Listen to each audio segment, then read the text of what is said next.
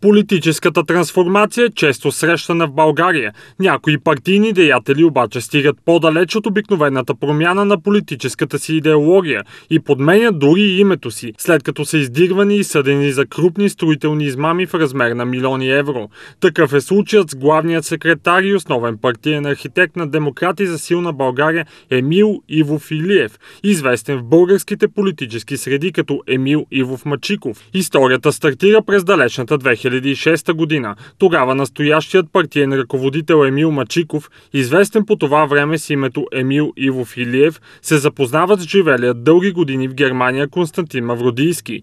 Под предлог, че ще му помогне за изграждане на строителен бизнес, Емил Илиев сключва договор с компанията на Константин Мавродийски Кристиян 98 ЕОД и заедно създават дружеството Здравец Инженеринг ООД.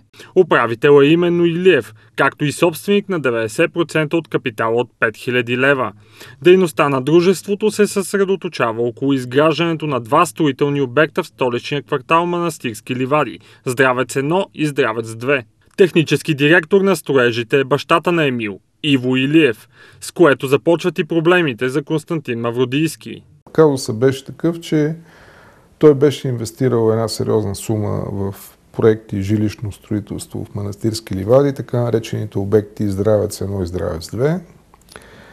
И ми разказа една история, която, ако мога да я кажа с две думи, неговите партньори го бяха измамили. Измамата се стоеше в това, че той е дал ни пари, които се харчат за някакви други неща, не влизат всичките в проекта.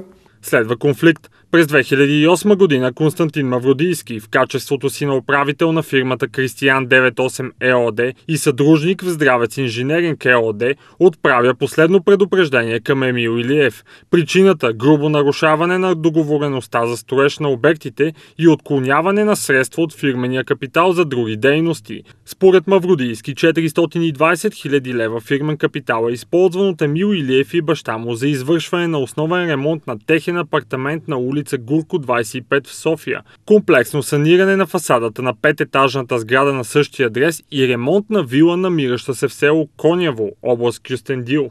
Преди години тук живееше човек, който се казваше Иво Илиев. Този човек, доколкото ми е известно, е напуснал. Не мога да кажа точно какви са причините за неговото напускане. Има някакви слухове. Какви са тези слухове?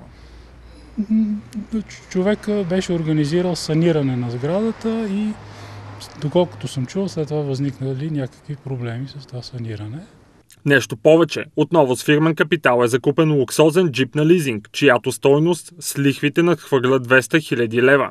Придобиването на автомобила се случва веднага след като Мавродийски прехвърля на Илиев, известен днес като Мачиков, първите суми за строежите Здравец 1 и Здравец 2. Според Мавродийски, техническият директор Иво Илиев е оправдал изразходването на 264 000 лева от капитала на Здравец Инженеринг ООД с изплащането на задължения към опасни лица.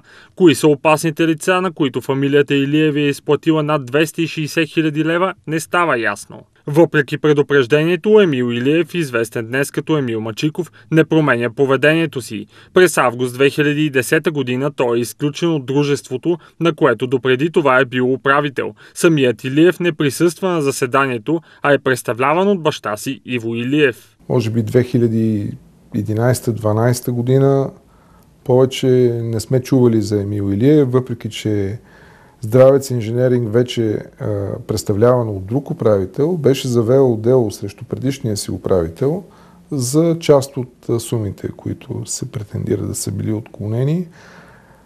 Гражданско дело. Емил Илиев беше осъден, взехме изпълнителен лист, образувахме изпълнително дело, търсихме го, часаито не можа да, да го намери, да му връчи призовка. И така или иначе не последва изпълнение, защото този човек нямаше нищо на негово име, нямаше имущество. Изключването на Илиев, известен днес като Мачиков, от дружеството Здравец Инженеринг обаче не слага край на сагата. По време на управлението си той е сключвал предварителни договори за покупка на апартаменти с трети страни.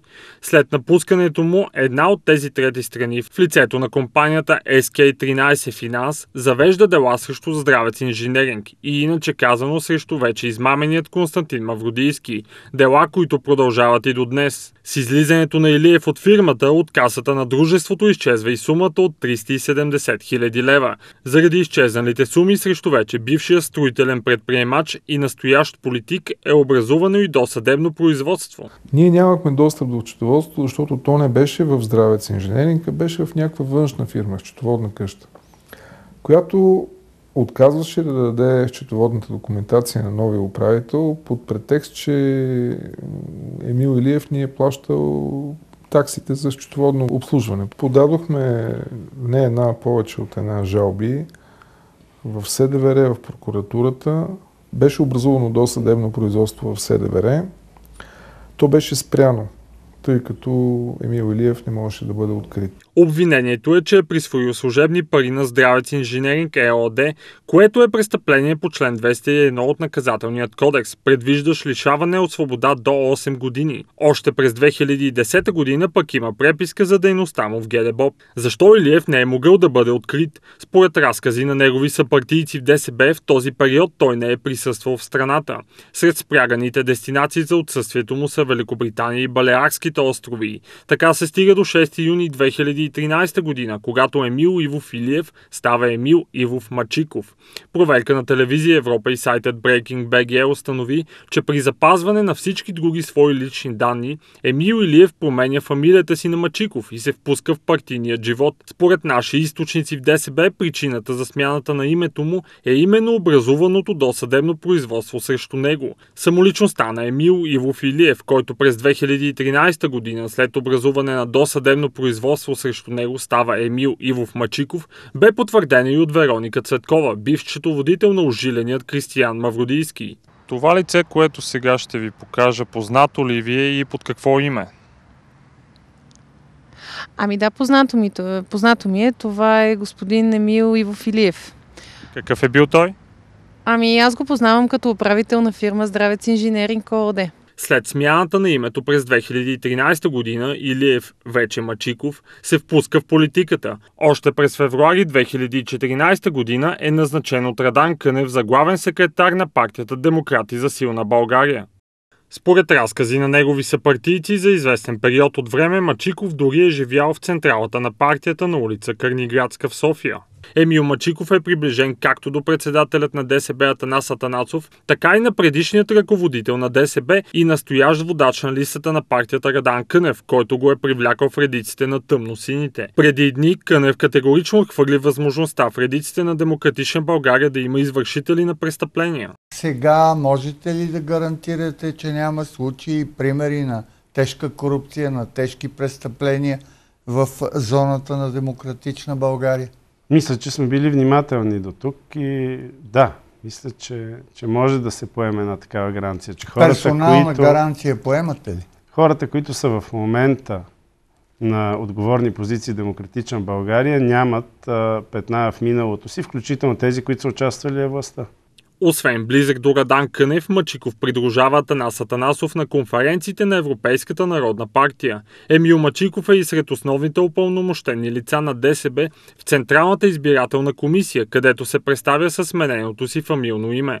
Близък е и до общинския съветник от ДСБ Марта Георгиева, както и до колегата й Иво Бошков. Според функционери и симпатизанти на партията, именно Мачиков е основният организатор на последните няколко предизборни кампании. Включително е поел тази функция и в настоящата кампания на Демократична България. В събота Мачиков придружаваше Радан Кънев и председателят на Да България Христо Иванов при регистрирането на коалицията Демократична България за европейските избори.